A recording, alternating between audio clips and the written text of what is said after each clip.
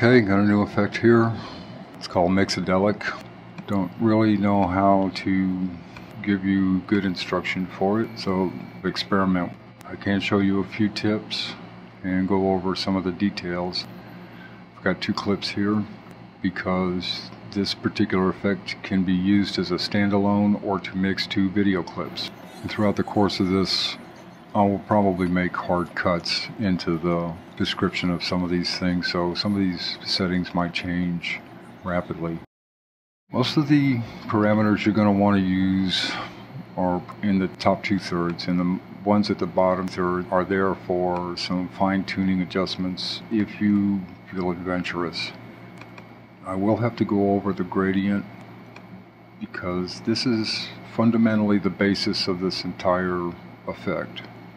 The gradient is going to have quite a lot of fine-tuned control for this entire effect.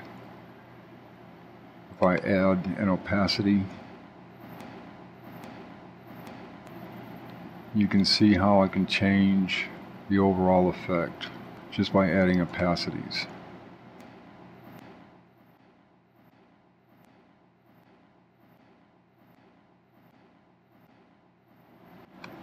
Uh, this is the default color for this effect and let me just change this. Uh, one of the important parts of this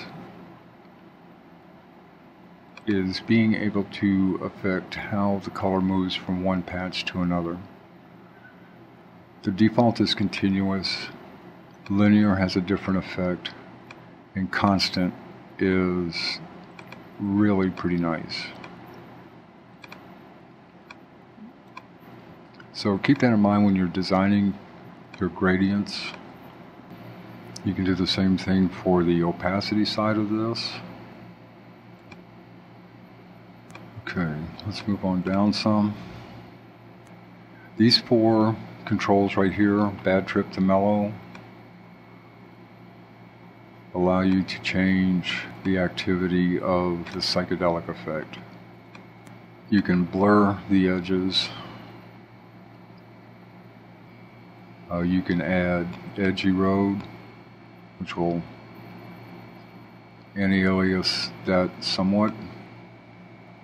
You can change your mask from alpha to luminance or one of these other color channels for different effects. You can change the mask blend mode from add to subtract or replace and you can change aspects of the gradient which will be more noticeable in different modes. So that gives you a little bit more control over the effect. And these last two controls here work with the Luma key that underpins this effect.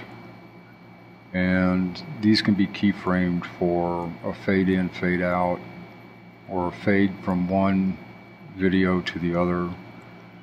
And the bias is a sort of fine tuner and is based on the shrink expand control so there's no definitive instruction on how to use these. It's basically you need to just move them kind of in tandem with each other to figure out how they're going to interact. Down here at the bottom, the offset. If you pause playback, you have an on-screen control and you can adjust how this appears on the screen. So if you have something that needs to appear at a particular time, you can plan for that. Now I know that the effect moves in the opposite direction of the on-screen control. Really can't do much about that.